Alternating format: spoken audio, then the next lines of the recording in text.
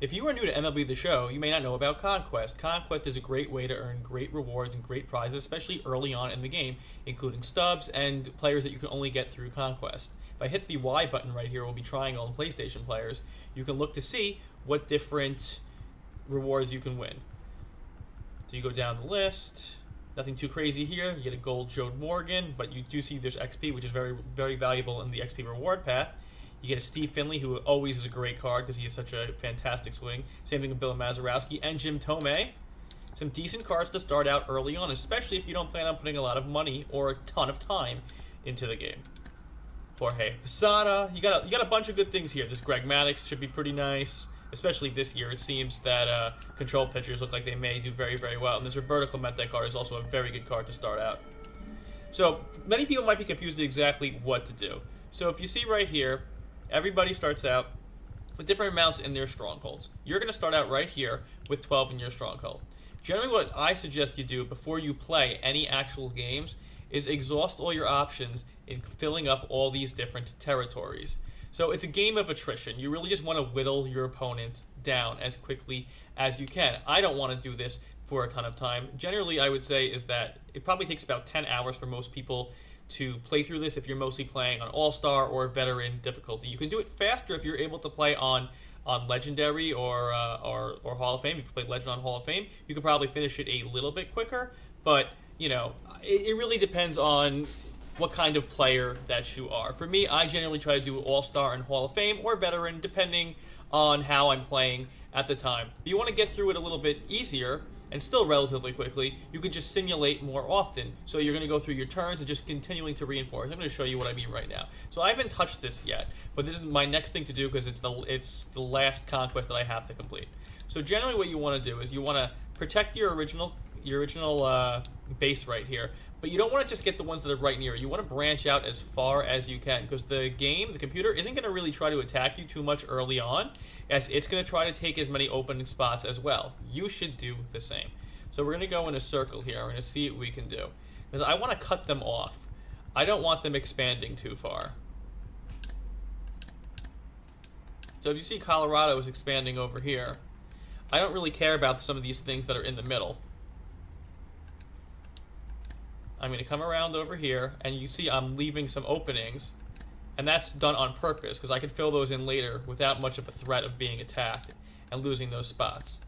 Another thing to keep in mind is that every three territories that you get that you have is going to add to one fan that you see over in the down the right corner where it says turn one 12, tori- 12 territories 12 million fans okay so every three of these that i get will add one more territory. So I don't want to play a game right now, and I don't want I don't want to steal, and I don't want to attack.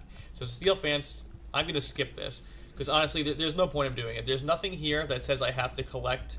I mean, I have to complete anything in a certain amount of turns. So I'm not really worried about that. So what I'm going to do here is I'm going to actually reinforce over here because I want to try to cut these twins off as much as I possibly can. Moving fans, I'm not going to be getting into moving fans yet because, like I said, I just want to get as many of these spots as possible and try to cut Minnesota off from expanding. Same thing with the Cubs right here. I'm going to skip this as well. I'm going to reinforce. I'm going to probably reinforce right, put two extra here, so have three, and hopefully I can get here or here. If not, I can just hold it on for another round. And I also want to start expanding on Colorado, and I want to see if I can get around them to start cutting them off as well.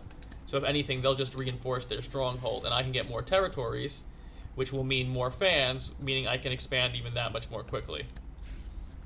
So I I probably want to try to do this one here, try to cut Colorado off. Okay. So I don't have to worry about Colorado right now, so I can come here and cut cut Minnesota. Okay, so Minnesota did do one, no big deal.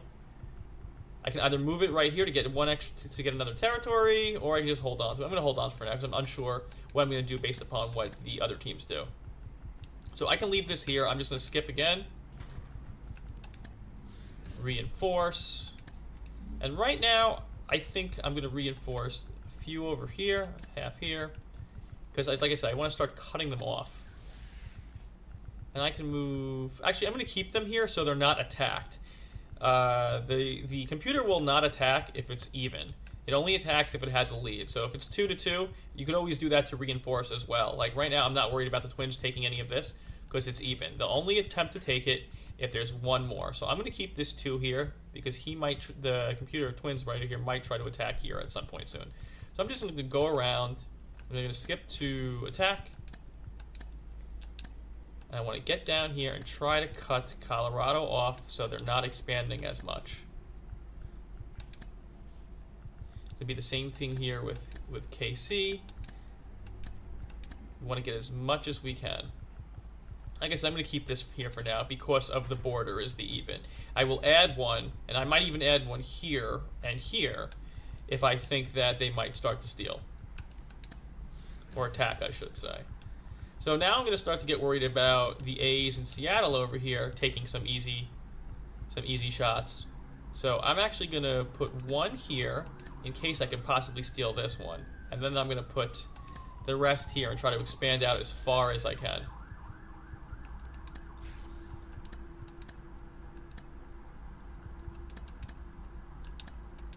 Trying to make that big bubble, and you'll see why in a minute, because like I was saying, they're, they're going to try not to attack if you're cutting them off. Might as well just put this here. And you and uh, let's see, yeah. Put that there. Skip to reinforce. Now, since this is a stronghold, I'm not really worried about two, but just in case, I'm going to put it there so again, I will not be attacked. I'm to put one here as well so I can keep that open. Now, I don't have too many places where I can expand that are contested right now.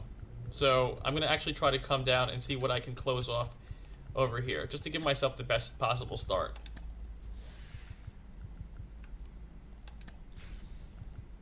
Skip that phase once again.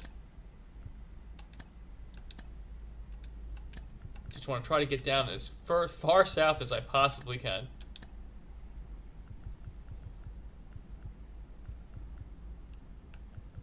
Could go one more over, and then I could go all the way down into this corner. Now, you may lose these at some point. It's, it's it's, it's definitely possible. Okay, got some five packs there. Beautiful. And I'm going to move this actually here because I feel pretty protected about these guys as well as here. Okay, so like I said, I can do that, but I want to leave this here to be protected. I'm going to skip that again.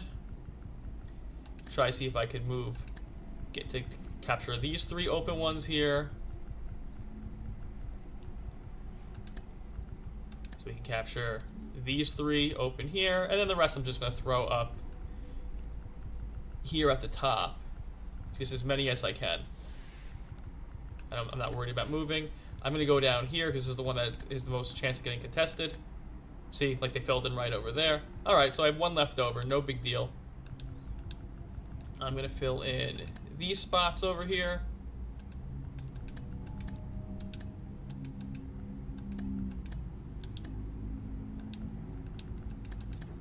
just fill them all in because like I said, we want to get as many territories as possible because that gives you as many fans as possible, which gives you the chance to put as many as you can when you're attacking, which gives you the best chance of winning because you can put it on easier difficulties if you have more fans in that territory that's attacking the territory that you're looking to attack. So there's nothing else I really want to do right here, right now. So I'm going to skip again. I don't care about stealing fans. You can do it if you want, but honestly, it, it's it's not really time efficient. So I would say don't bother doing it because there is no turn requirements here. Sometimes they put turn requirements on saying that you have to capture this stronghold within the first three turns. So if that's the case, sometimes you might have to play higher difficulties or go right through it and then restart it over. It, it, it depends. Like when they do Conquest Extreme, which uh, we'll see if they do that this year. Okay, let's bring this up to 6 so we can fill in the 5 over here. And then there's really not much else that we can do right now. So I think what I'm actually going to do is bolster up here and work out for here, and then I'm going to probably try to attack the twins after. I'm going to keep this here so it's not attacked. It's not a big deal.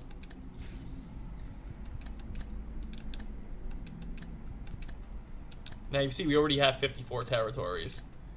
And we've pretty much done this relatively uncontested. I think we've only lost a couple of territories, and look at what we and look at what we have gained. Okay, gonna work our way out here.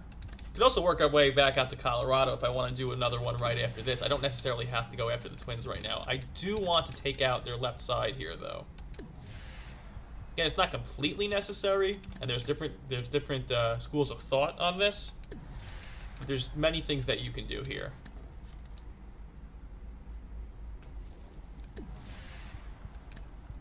So I'm going to take this out here and then what I think I'm going to do is go one more over just so I can attack the twins if I want to attack them. Yeah, that looks uh, that looks right to me. See, they did they did uh, break this up over here, which means I cannot move fans. But all you have to do is make sure you have a connection. So we can get back to that connection in a minute. So if you sometimes I go right for it to reconnect, sometimes I don't. I think this time though I actually am. I'm going to reconnect it on a couple of lines. So if they do take out one line, I don't lose too much. What do we have right now? We have 61 territories, and now I can already add 20 reinforcements. Again, I'm not going to move fans. I'm going to hope that I can get through this. You don't have to worry about the territories with one. Like I said, they are not going to attack you, so you really do not have to worry about them.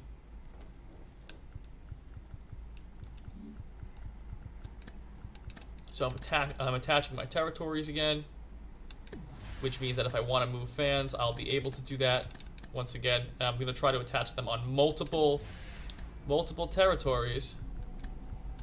They already broke it up again. Multiple territories. So if they do break up in one area, we can still have a connection. As long as you're keeping a connection, you can move the fans within.